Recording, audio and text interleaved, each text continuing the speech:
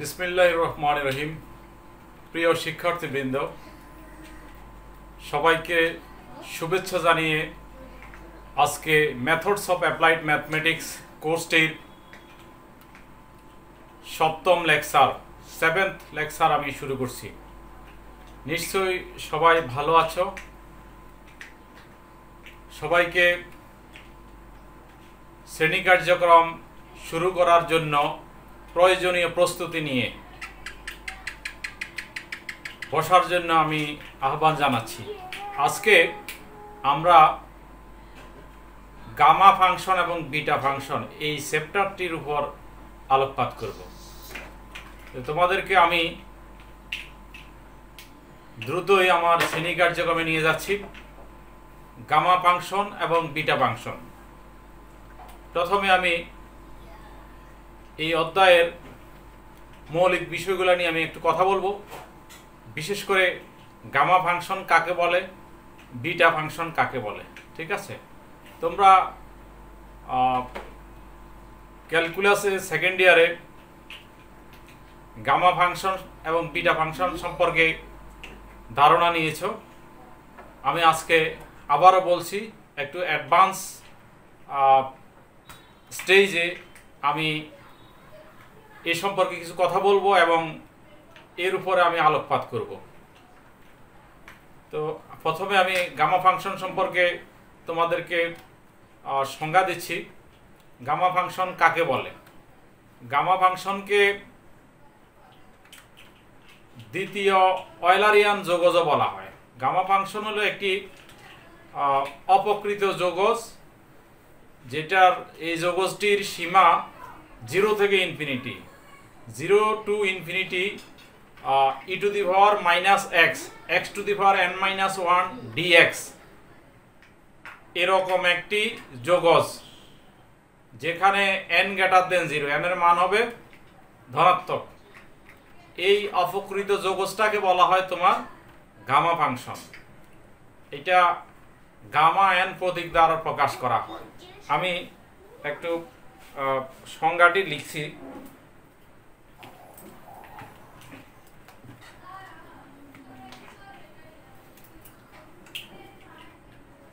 Gamma function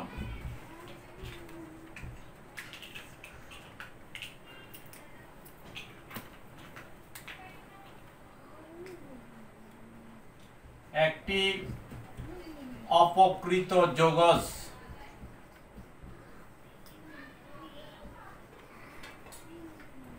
Zero to infinity e to the power minus x x to the power n minus one dx n greater than 0 কে gamma function বলা হয় এবং ইহাকে gamma N দ্বারা প্রকাশ করা হয়। অর্থাৎ gamma n equal to 0 to infinity to the power minus x x to the power n minus 1 dx, n greater than 0 ঠিক আছে? এটাকে বলা হয় তোমার গামা ফাংশন আচ্ছা এখন গামা ফাংশন রিলেটেড কিছু তোমার করলারি বা অনুসিদ্ধান্ত আছে। যেমন গামা ওয়ানের মান ওয়ান তারপরে তোমার গামা হাফ রুট ফাইভ এগুলা প্রমাণ আছে। এগুলা এই জায়গাতে এন এর মান ওয়ান হাফ বসিয়ে দিলে এগুলা বের করা যায়। তারপরে তোমার গামা এন প্লাস ওয়ান সমান এন গামা এন আরেকটা হলো gamma n plus one equal to n factorial ঠিক আছে? এগুলা আমাদের বিভিন্ন অঙ্ক করতে প্রয়োজন হতে পারে। এরপরে তোমার বিটা ফাংশন কাকে বলে? Beta function.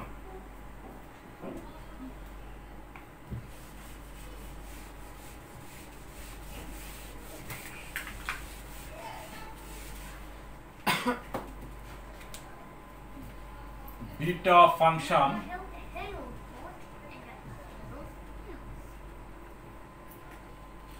একটা নির্দিষ্ট যৌগজ, একটি নির্দিষ্ট যৌগজ। এটা লিমিট হবে জিরো থেকে ওয়ান। ঠিক আছে? X to the power m minus one. One minus x to the power n minus one dx m n greater than zero এতকে beta function বলা হয়, ঠিক আছে?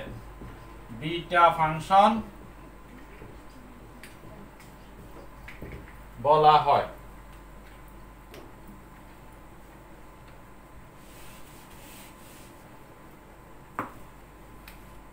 এবং এটাকে প্রথম অয়লারিয়ান যোগজ বলা হয়। এটাকে প্রথম অয়লারিয়ান যোগজ বলা হয়। তারপর এটাকে প্রকাশ করা হয় বিটা এম এন দ্বারা ইহাকে প্রকাশ করা হয়। ঠিক আছে? তার মানে অর্থাৎ beta m comma n equal to zero to one x to the power m minus 1 1 minus x to the power n minus 1 dx, m n greater than 0 এই, এটা হলো তোমার বিটা ফাংশন ঠিক আছে? গামা ফাংশন এবং beta ফাংশনের definition সম্পর্কে clear তাহলে এখন আসো বাস্তব ডোমেনে গামা ফাংশন এবং বিটা ফাংশন আমি সংজ্ঞাটা দিলাম। আর এই চ্যাপ্টারের অনেকগুলা আলোচ্য বিষয় আছে যেগুলা তোমাদের সিলেবাস অনুযায়ী গুরুত্বপূর্ণ নয়। বিশ্ববিদ্যালয় কোর্সান এখান থেকে খুব একটা আসে নাই। সেজন্য আমরা জটিল ডোমেনে গামা ফাংশন, বিটা ফাংশন সেখান থেকে এখন আলোচনা করব। আমি জাস্ট সংজ্ঞাটা দিলাম এখান থেকে, আর খুব একটা যে আলোচ্য বিষয়।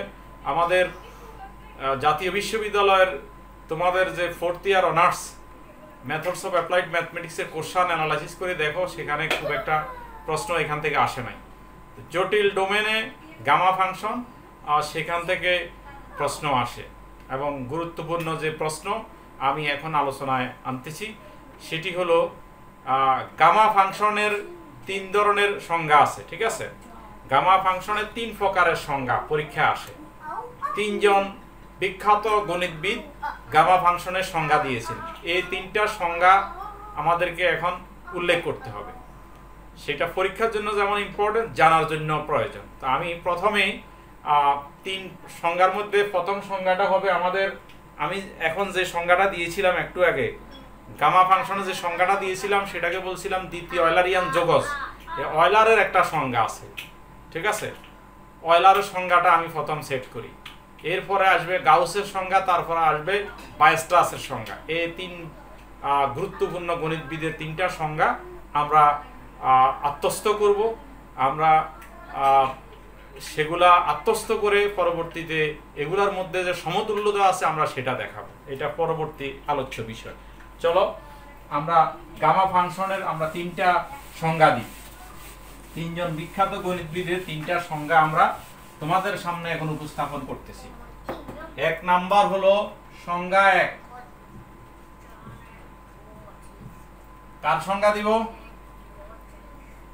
অয়লার। অয়লারের সংজ্ঞা, কেমন? অয়লারের সংজ্ঞা হলো তোমার গামা ফাংশনের অয়লারের সংজ্ঞা। অয়লারের সংজ্ঞা আমরা অলরেডি যে সংজ্ঞাটা দিয়েছিলাম, গামা এন লিখছিলাম, এখানে লিখব গামা জেড ঠিক আছে? এটা আমরা জটিল ডোমেনের গামা ফাংশনের সংজ্ঞা দিচ্ছি।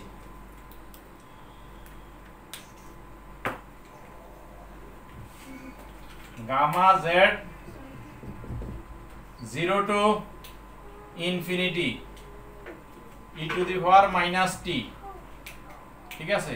তারপরে t to the power z minus one dt real part of z greater than zero এই সংজ্ঞাটা দিয়েছে কে? অয়লার এটা হলো গামা ফাংশনের অয়লারের সংজ্ঞা। ঠিক আছে? Zero to infinity e to the power minus t t to the power z minus one dt real part of z greater than zero এরপরে হলো তোমার দুই নাম্বার সংজ্ঞা। সংজ্ঞা দুই নাম্বার কে দিয়েছে? গাউস দিয়েছে। গাউসের নামও তোমরা শুনেছ। গামা ফাংশনের গাউসের সংজ্ঞা।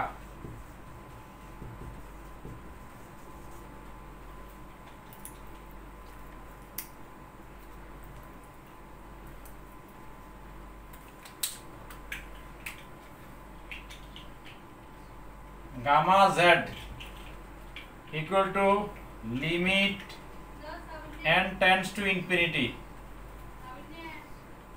n to the power z n factorial z into z plus 1 z plus 2 z plus 3 এভাবে যেতে যেতে z plus n ঠিক আছে আর সংজ্ঞা হলো যেহেতু এগুলার কোনোটার মানে জিরো হলে জিরো হওয়া যাবে না জিরো হলে অসংজ্ঞায়িত হবে। সেই জন্য তুমি বলতে পারো যে এখানে জেড এর মান জিরো হবে না not equal to zero z এর মান মাইনাস ওয়ান হবে না।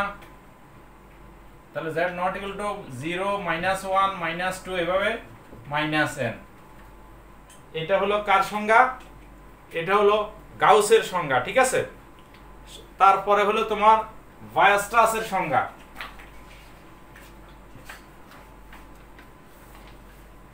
গামা ফাংশনের বায়োস্টাসের সংজ্ঞা। সংজ্ঞা নাম্বার তিন।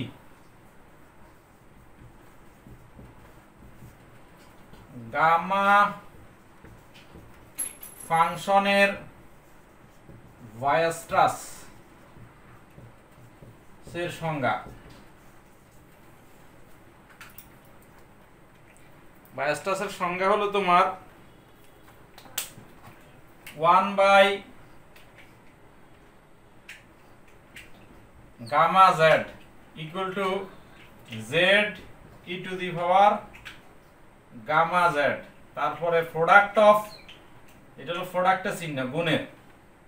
n এর মান 1 থেকে ইনফিনিটি তারপরে হলো তোমার 1 plus z by n to the power n e to the power minus z by n, ঠিক আছে? 1 প্লাস z বাই n, এটা হলো তোমার ভয়েসটাসের সংজ্ঞা। এখন এই এই গামার এই গামাটাকে বলা হয়, এই যে গামাটা ঠিক আছে? এই গামাটাকে বলা হয় অয়লার মেসেরনি ধ্রুবক। এতকে অয়লার মেসেরনি ধ্রুবক বলে। এটার একটা ভ্যালু আছে, এটা আমরা যখন একটু পরে আমরা দেখাবো যে এই যে তিনটা সংজ্ঞা আমি সেট করলাম, এই তিনটা সংজ্ঞার মধ্যে সমতুল্যতা স্থাপন একটি গুরুত্বপূর্ণ প্রশ্ন। একটা পরীক্ষা দেখবা যে তুমি কোশ্চানগুলো যদি অ্যানালাইসিস করো, সেখানে দেখবা যে দশ নাম্বারের একটা কোশ্চান আছে, সেটা হলো, এই প্রশ্নটা এরকম যে ধামা ফাংশনের তিন ধরনের বা তিন প্রকারের সংজ্ঞা দাও এবং এই তিন প্রকারের সংজ্ঞার মধ্যে সমতুল্যতা স্থাপন করো। সমতুল্যতা স্থাপনটা কি? অর্থাৎ তিনটা সংজ্ঞাই একই জিনিসকে প্রকাশ করে। ঠিক আছে? এই তিনটা সংজ্ঞার মধ্যে একটা পারস্পরিক সম্পর্ক আছে। এগুলোর হয়তো আকারে ভিন্ন আছে কিন্তু বাট এই তিনটা জিনিস একটা জিনিস বুঝায়। এটা হলো তোমার, তোমাকে এখন আমি প্রমাণ করে দেখাবো। এই প্রমাণটা এবং এটা সহ মোট দশ নম্বরের একটা প্রশ্ন থাকে। আমি আজকে তোমাদেরকে এই প্রশ্নটার সমাধান এখন করব ইনশাল্লাহ তবে প্রস্তুত হও, আমরা এখন শুরু করি। কিছু গাণিতিক প্রক্রিয়া প্রয়োগ করে আমরা দেখাবো যে এই যে অয়লারের সংজ্ঞা, গাউসের সংজ্ঞা এবং কি? ভয়েস্ট্রাসের সংজ্ঞা, এগুলা মূলত একই ধরনের জিনিস, এটা বিভিন্ন আকারে আছে, ঠিক আছে? তো চলো, আমরা সমতুল্যতা স্থাপন করি। তো সমতুল্য স্থাপনের জন্য আমরা প্রথমে অয়লার থেকে শুরু করব। অয়লার থেকে গাউসে আসব, গাউস থেকে আমরা বায়াসটাসে যাব।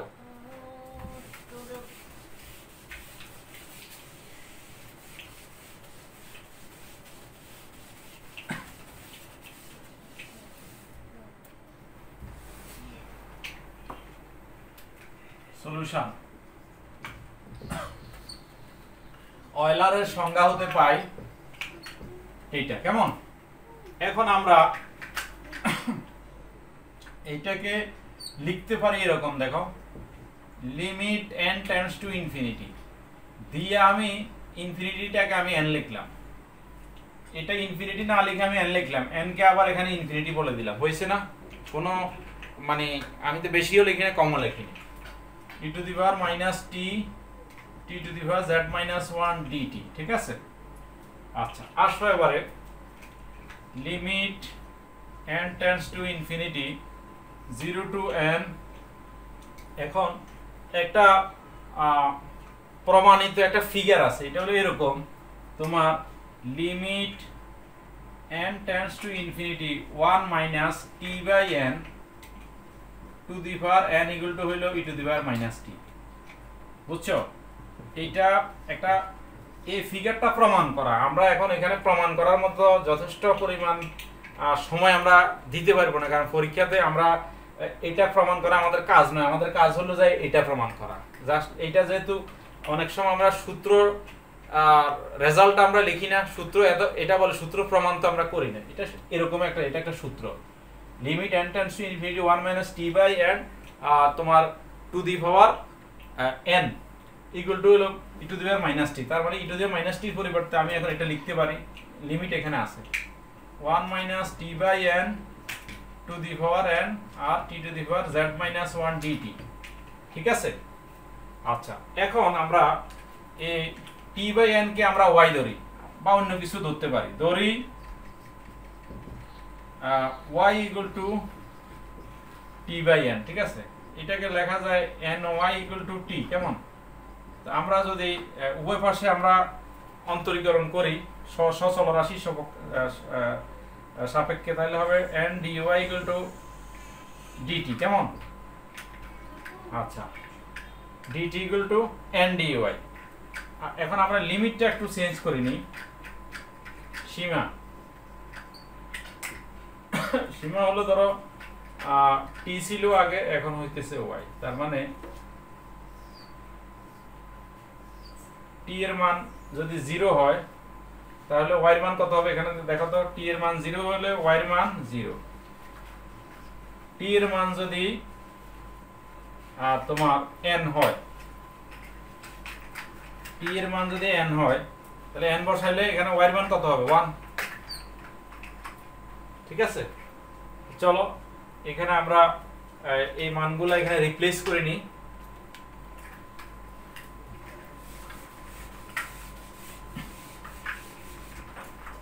রিপ্লেস করলে দাঁড়াইবো।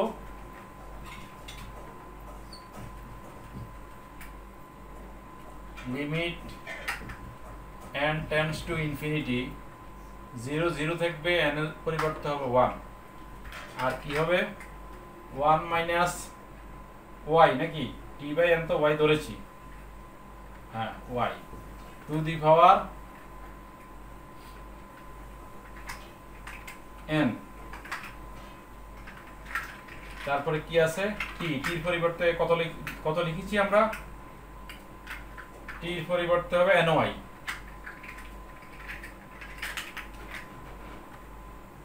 টির পরিবর্তে হলো ny ny to the power z minus 1 আর এর পরিবর্তে হবে ndy ঠিক আছে? Limit n tends to infinity এখন এখানে দেখো, এখানে n এর উপর আছে z মাইনাস 1 পাওয়ার আবার এখানে আছে n এর উপরে পাওয়ার 1 তো দুইটা গুণ দিলে কত হবে? n to the power z, কেমন? n to the power z dy এর সাপেক্ষে ধ্রুবক, এই জন্য এটা আমি বের করে নিয়ে আসলাম এটা, n to the power z 0 to 1 আর এখানে থাকে 1 minus y to the power n এখানে থাকবে y to the power z minus 1 y কেমন? এই তো?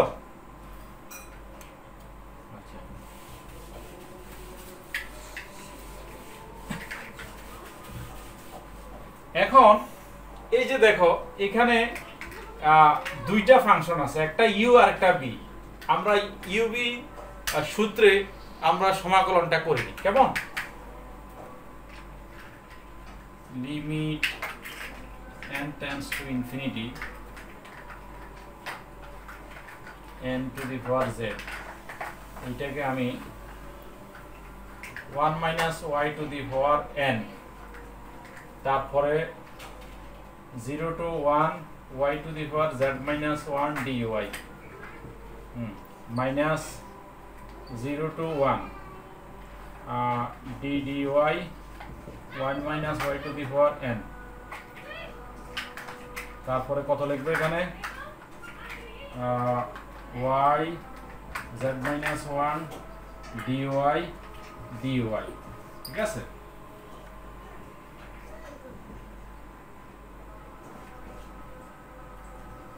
n to the power z এখানে দেখো 1 minus y to the power n এটাকে সমাকলন করলে কত হবে? একটা ওয়ান বাড়বে, অর্থাৎ y to the power z minus one plus one হয়ে যাবে y to the power z কেমন? Y to the power z divided by z divided by z এরপরে এখানে, এখানেও এখানে, এখান থেকে একটা এন আসবে না? এন এটা এটা তো অন্তরীকরণ। অন্তরীকরণ করলে হবে n into one minus y to the power n minus one এনটা আমরা বাইর করে লিখি। তারপরে এখান থেকে আবার একটা মাইনাস আসবে। একটু ভিতরটা অন্তরীকরণ করলে একটা মাইনাস আসবে। তো মাইনাসটা আমি এখান থেকে লিখলাম প্লাস হয়ে যাবে। কেমন? আর সামনে মাইনাসটা ওয়ানটা লিখলাম এনটা লিখলাম। আর থাকবে কত? Zero to one one minus y to the power n minus one এটা হয়ে যাবে তোমার y to the power z d y আর নিচে একটা জেড আছে এটা আমি বাইরে করে এখান দিয়ে লিখলাম। ঠিক আছে? আর এটা সবার জন্যই এন টু দি জেড আছে। আচ্ছা এখন একটু খেয়াল করে দেখো, এখানে যদি আমি, এখানে ভ্যালু যদি ওয়ান এবং জিরো বসাই, প্রথমে চিন্তা করে দেখো, আমি ওয়াই এর মান যদি ওয়ান বসাই, তাহলে এই যে ওয়ান মাইনাস ওয়ান কি হয়ে যাবে? জিরো আর জিরো দিয়ে পুরো টার্মটার সাথে গুণ দিলে পুরোটা জিরো হয়ে যাবে। আর যদি জিরো বসাই, এই এই, এই- টার্মে আমি যখন জিরো বসাবো তাহলে পুরোটা জিরো হয়ে যাবে। সেক্ষেত্রে পুরো টার্মটা জিরো তার মানে আমি আপার লিমিট ওয়ান বসাইলেও জিরো লোয়ার লিমিট জিরো বসাইলে জিরো তার মানে এখানে পুরো টার্মটাই জিরো হয়ে যেতেছে এটা নাই। এটা আর নাই তার আর থাকতেছে আমার এটা এখান থেকে আমি limit n tends to infinity n to the power z আর এই nটা এখানে আসলো এন নিচে জেড আছে, কেমন? আর আর থাকল, এটা এটাকে আবার এখানে আবার দুইটা ফাংশন ইউ এবং বি এখানেও আবার আমি ইউ বি সূত্রটা প্রয়োগ করিনি, কেমন?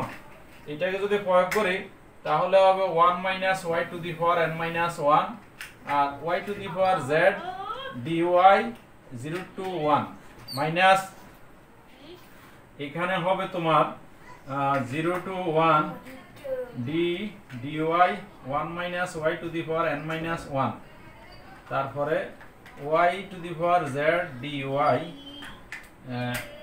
তারপরে হলো ডি ওয়াই এখানেও আমি এটা লিখলাম, ঠিক আছে? তো এখানে আসো limit n tends to infinity n to the power z n divided by z আচ্ছা এখানে এই টার্মটা দেখো, এখানে আসবে 1 minus y to the power n minus one এটা তো আছেই, আর এখান থেকে হবে y to the power z plus one কেমন? আর নিচেও জেড প্লাস ওয়ান একটা আসবে। হ্যাঁ তারপরে এটার লিমিট ওয়ান আর জিরো ঠিক আছে? আর এখানেরটা দেখো, এখানে এন মাইনাস ওয়ান একটা আসবে, কেমন? কারণ এটার অন্তরীকরণ করলে কি আসবে? এটার n minus one into one minus y to the power n minus two আর এখানে ভিতরটার জন্য, ভিতরে এটার জন্য একটা মাইনাস আসবে। এটা আসলে এটা প্লাস লিখে ফেললাম। আর এন মাইনাস ওয়ানটা আমি সামনে দিয়ে লিখলাম। ঠিক আছে? আর এখানে এইটাকে সমাকলন করলে y to the power z plus one divide by z plus one ওই নিচে যে z প্লাস ওয়ান আছে, সেটাকে আমি এখান দিয়ে লিখলাম। তাহলে আর থাকল কি? জিরো টু ওয়ান এখানে আসবে one minus y to the power n minus two কেমন? আর এটা থাকবে y to the power z plus one d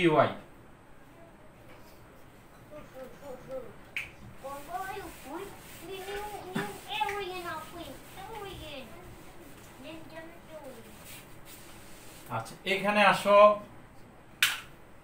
এখন limit n tends to infinity, n to the power z, n, z আচ্ছা এখানে এই ভ্যালুটা দেখো, এখানে আবার এই এই টার্মটা দেখো। দেখতেছো তো তোমরা, নিশ্চয়ই?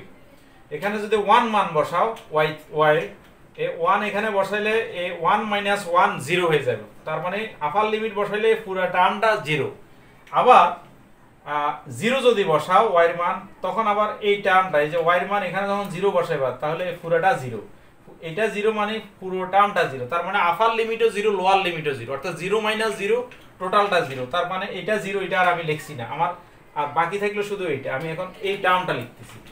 এটা জিরো কেমন? এটা জিরো এটা আমি লিখছি না।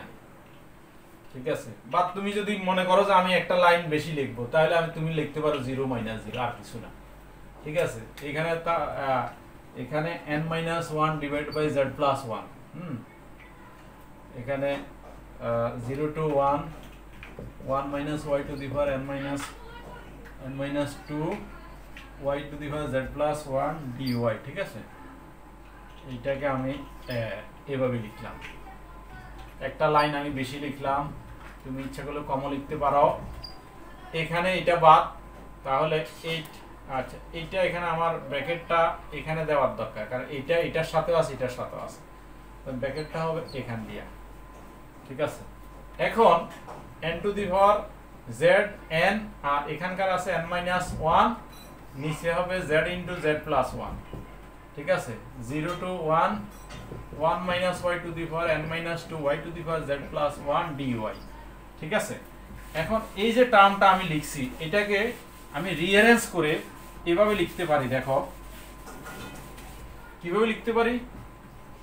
Limit n tends to infinity n to the power z n into এই যে n মাইনাস ওয়ান তাকে আমি লিখতে পারি n minus two plus one আর নিচেরটাকে লিখতে পারি z into z plus two minus one দেখো, এইটা n মাইনাস টু থেকে ওয়ান গেলে আর মাইনাস ওয়ান থাকে, এটাই হবে। আর এটাকে প্লাস টু থেকে মাইনাস ওয়ান গেলে ওয়ানে থাকে। এভাবে লেখা যায়। অর্থাৎ আমাকে টুর মতো করে, কারণ দ্বিতীয়বার করছি তো, আমাকে একটা টুর সাথে সংশ্লিষ্ট করে আমার কাজ করা লাগতেছে। দ্বিতীয়বার অন্তরে সমাকলন করাতে আমি এটা পেয়েছি তো। এখন এখানে এটা one minus y to the power n minus two আছে। এইখানে লেখা যাবে z plus two minus one d y ঠিক আছে? একটা ধারাটা বুঝতে পারছ তো? এখন আমি যদি এটা, এটাকে, এটা তো দ্বিতীয়বার করছি। এভাবে আমি আরও এন মাইনাস টু বার যদি সমাকলন করি, তাহলে আমি তাহলে আমি যে ফিগারটা পাবো, সেটা আমি এখন তোমাদের সামনে আলাপ করতেছি, ঠিক আছে? তাহলে একইভাবে আরও, একইভাবে আরও এন মাইনাস টু বার সমাকলন করে পাই। সমাকলন করলে আমি পাবো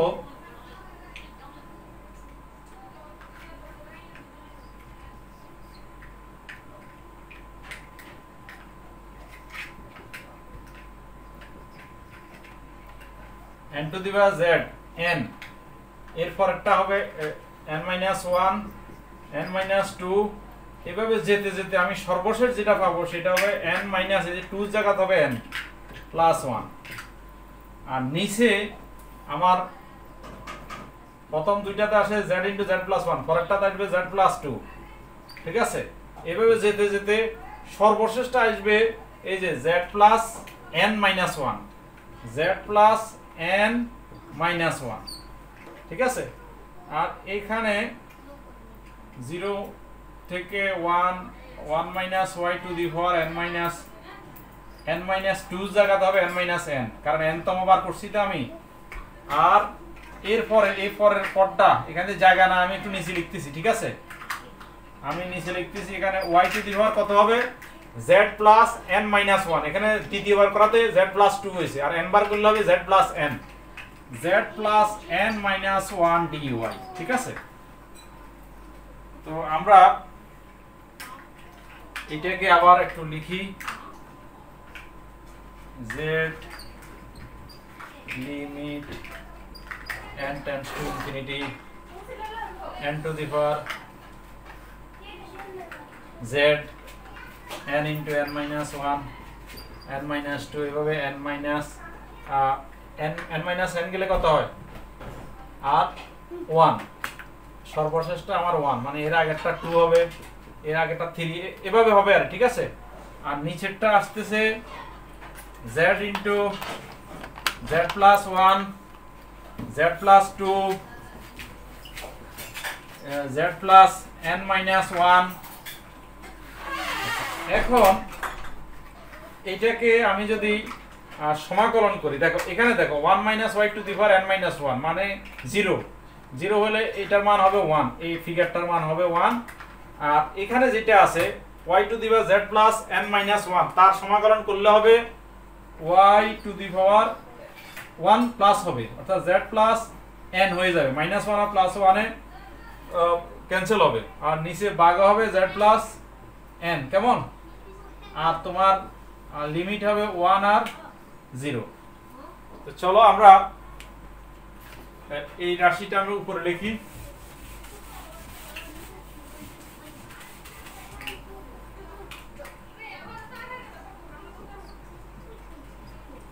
Limit n tends to infinity n to the power z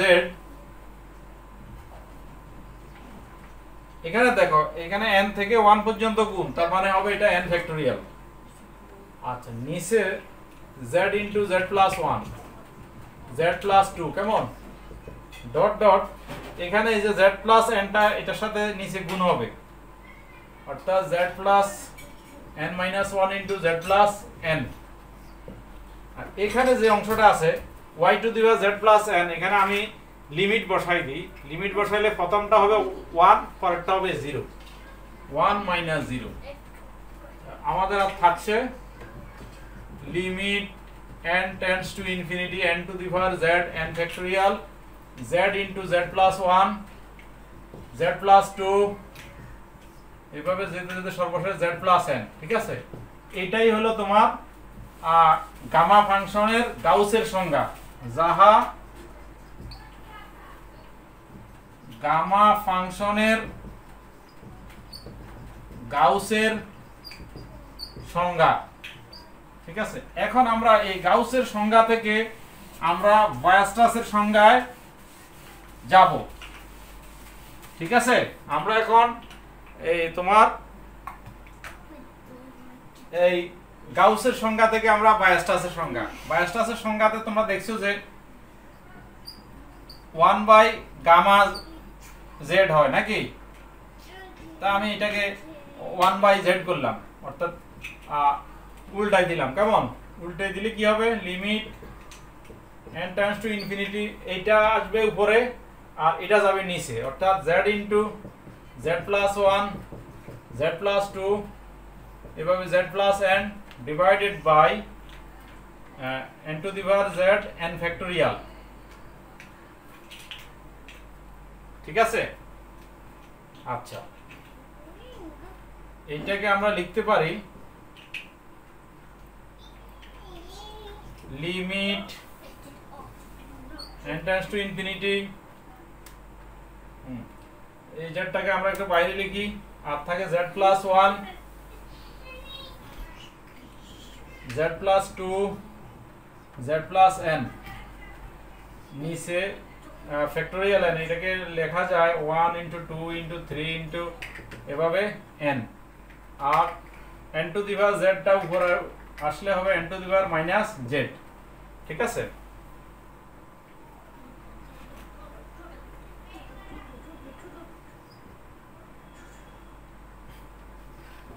Limit n tends to infinity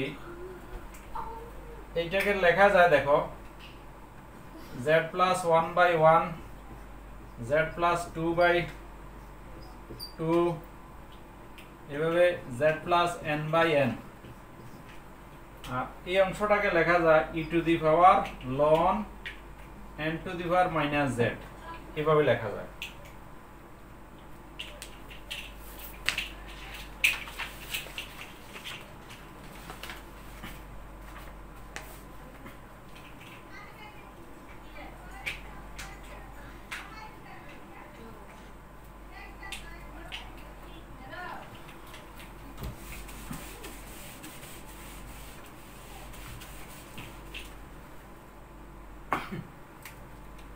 আচ্ছা এখন এটাকে z limit n tends to infinity হ্যাঁ এখানে লেখা যায় one plus z by one এটাকে লেখা যাবে one by z by two one plus z by n হ্যাঁ এইটাকে লেখা যাবে e to the power minus z ln n লেখা যায়, কেমন?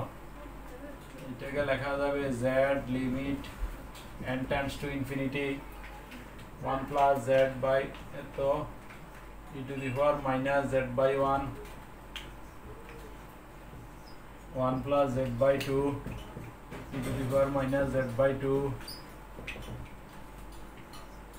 1 plus z by n e to the power minus z by n e to the power minus z ln n.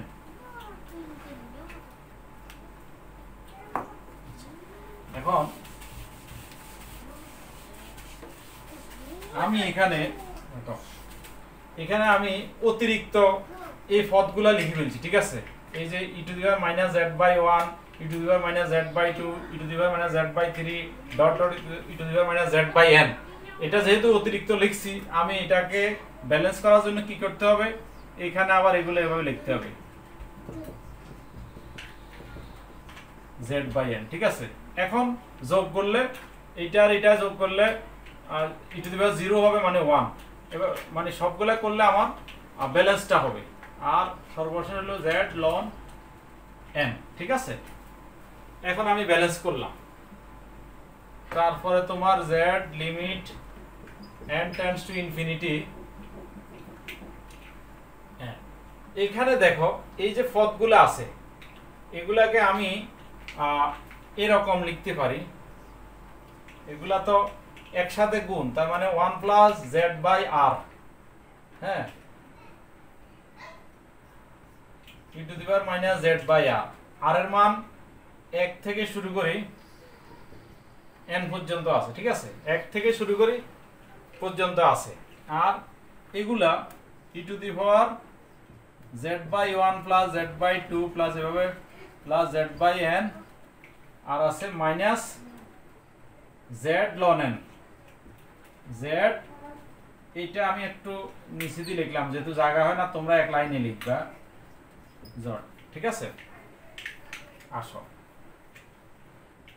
Z mid n tends to infinity product of uh, r1 to n 1 plus z by r to the uh, r আচ্ছা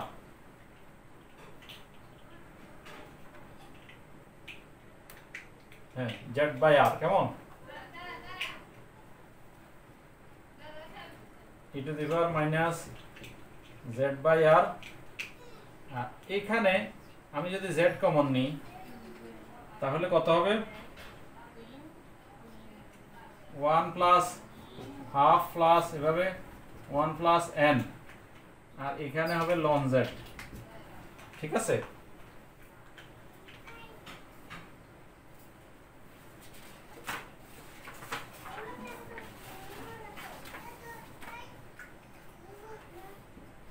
Z limit n tends to infinity product of n r1 থেকে n z by r e to the power minus z by r এখানে লেখা যাবে e to the power z এটাকে আমরা gamma বললাম পুরোটাকে এই গামাটাকে gamma মানে হলো কত 1 plus half plus dot dot plus one by n minus ln z. Ln sorry এটা হবে লন n. এটা হবে লন এন লন এন এই এই মানটা হলো তোমার অয়লার মেসরনি দুর্ভোগ বলা হয়। এটাকে বলা হয়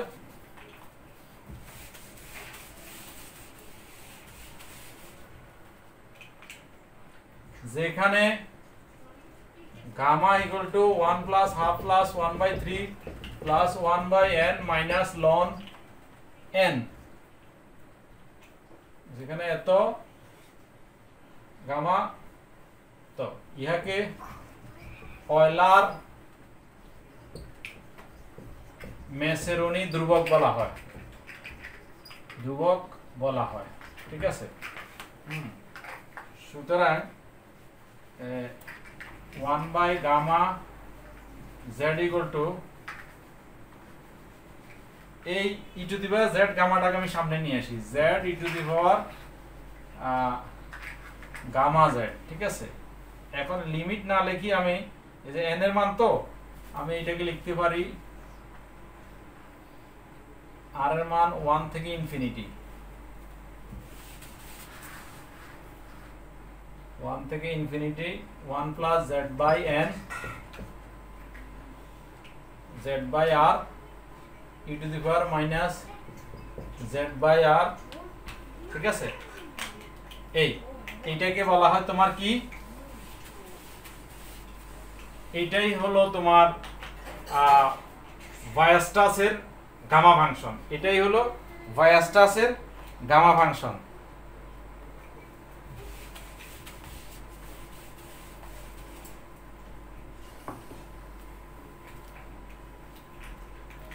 আরেকটা আছে তোমার গামা ফাংশনের দ্বিতীয় সূত্র। আমি দ্রুত শেষ করতেছি, আমার লেকচারটা বড় হয়ে যাচ্ছে সেই জন্য আমি দ্রুত এই অঙ্কটা করতেছি। এই, এটা নিয়ে আর বেশি কথা বলতেছি না, তোমরা করে ফেলছো।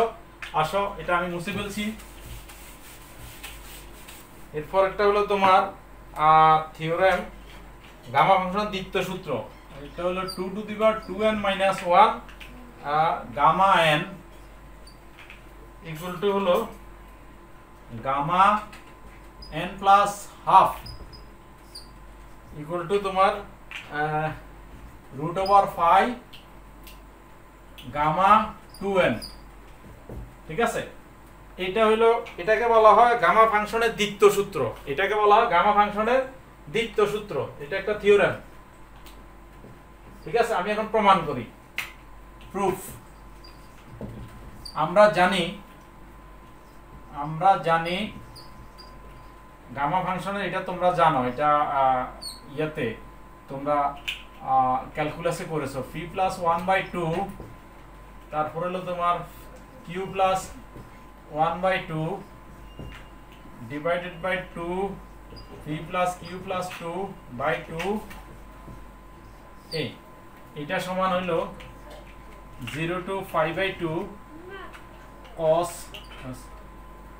sine to the power phi theta cos to the power q theta d theta ঠিক আছে?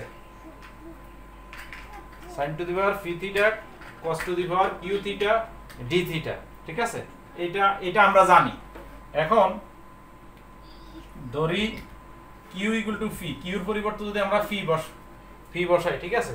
তাহলে এই সমীকরণটার ফিগার হবে phi plus one by two gamma এটা হবে phi plus one by two gamma নিচে হবে two phi plus phi by two by two কেমন? এত।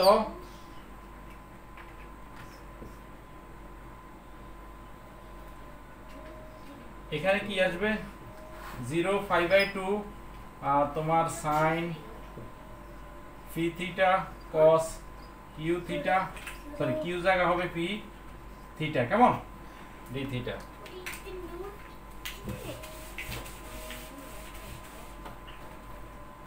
আচ্ছা এখন p plus one by two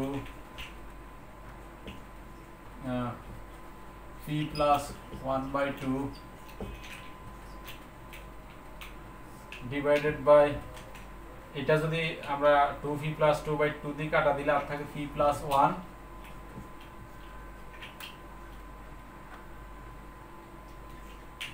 এইটা কেমন? টু ইন্টু এত। আর এখানে আমরা এটাকে লিখতে পারি একসাথে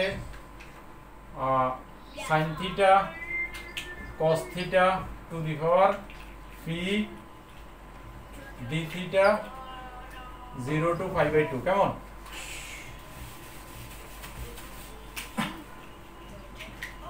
Phi plus one by two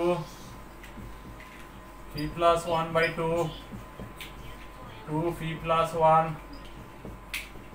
এটাকে আমি two sine theta cos theta লিখতে পারি। লিখলে এখানে একটা টু বাই ফি ভাগ দিতে হবে। টু এটা হবে sine two theta to the power phi d theta কেমন?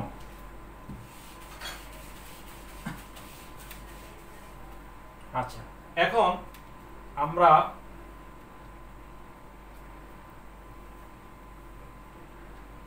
এখানে যদি আমরা টু থিটা সমান টি ধরি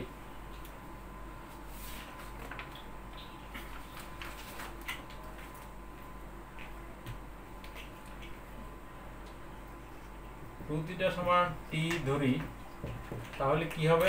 আমরা যদি এটাকে স্ব চলরাশির সাপেক্ষে অন্তরিত d two d theta equal to d t that is d theta equal to হবে হাফ ডিটি আর সীমাটা তো চেঞ্জ হবে তাই না? সীমা হবে থিটা আর হলো টি হ্যাঁ থিটা যখন জিরো হবে থিটা জিরো হলে টিও জিরো আর থিটা যদি ফাইভ বাই টু হয় থিটা ফাইভ বাই যদি টু আমরা লিখি, তাহলে টির মান হবে five okay p plus one by two p plus one by two two phi plus one এখানে হবে তোমার ওয়ান বাই টু ফি আর এখান থেকে দেখো, এই যে ডিটির মান হাফ আর ডি থিটার মান হাফ ডিটি তো হাফটা বা বাইর দিয়ে লিখলাম। আর zero to sine t to the power phi হ্যাঁ আর এটা হবে ডিটি এটা সরি এটা হবে সাইন ফাই ঠিক আছে? এখন one by two to the power phi one by এত, এটাকে আবার আমি যদি জিরো টু ফাইভ আমি এটাকে যদি ফাইভ বাই টু লিখি, তাহলে এখানে একটা টু লিখতে পারি। Two five by two sine to the power phi t d t ঠিক আছে? আচ্ছা এইটাকে আমি ওই প্রথমের সূত্রটার মতো আমি কনভার্ট করার জন্য হলে এখানে আমি কস জিরো টি লিখতে পারি ডিটি ঠিক আছে? Cos zero to the power zero t d t এটার মান এক। আসো p plus one by two p plus one by two two p plus one এখান থেকে আমি টু টু কাটা আর one by two to the power phi zero two five by two এখানে আমি ওই কজের ওই সূত্রটা যদি প্রয়োগ করি, সূত্র প্রয়োগ করলে হবে p plus one by two q plus one q হলো এখানে zero zero plus one by two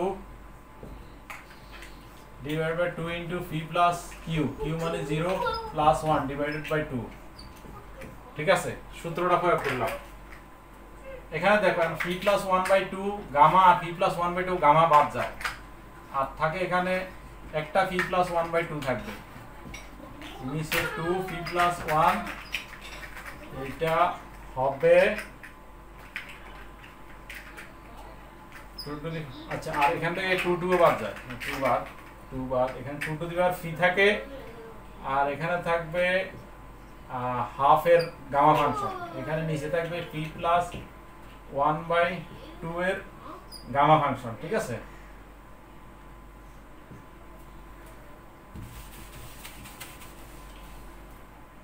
আচ্ছা এখন আমরা p plus one by two K n ধরি। ওয়ান বাই টু ধরি। এন ইকুয়াল টু এইটা। তাহলে আমাদের টু এন সমান পাবো পি প্লাস ওয়ান কেমন? এখান থেকে আমরা পি এর মান পাবো টু এন মাইনাস ওয়ান ঠিক আছে? এই মানগুলো আমরা এখানে বসাই। সুতরাং পি এর পরিবর্তে লিখব কত? টু এন মাইনাস ওয়ান বা p plus one one two n হ্যাঁ। টু এন বাই টু এটার মান তো আমি এন ধরছি। এবার গামা এন আর পি প্লাস ওয়ানের মান পাইলাম টু এন টু এন এটা। টু টু দি পাওয়ার পির মান টু এন মাইনাস ওয়ান আর গামা হাফের মান রুট ফাইভ এইটার মান এ ঠিক আছে?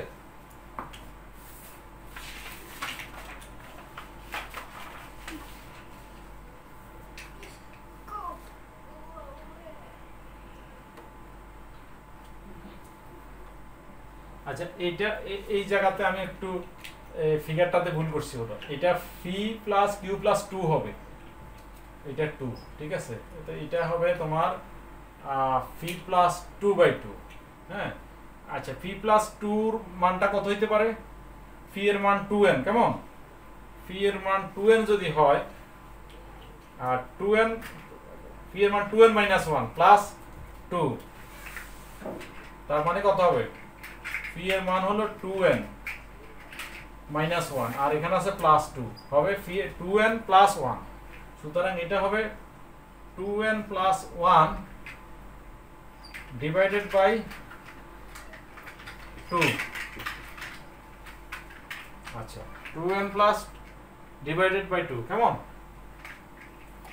এইটাকে আমরা একটু সাজিয়ে লিখি।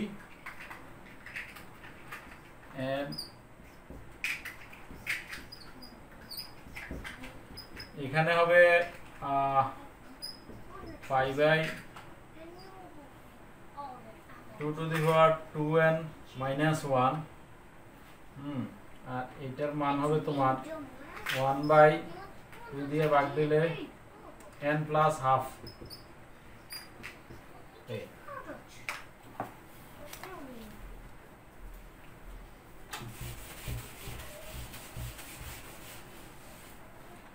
এখন আমরা আড়াআড়ি গুণ করলে পাবো two to the power two n minus one gamma n gamma n plus half equal to এ কোনা গুণ আর হবে root over pi gamma two n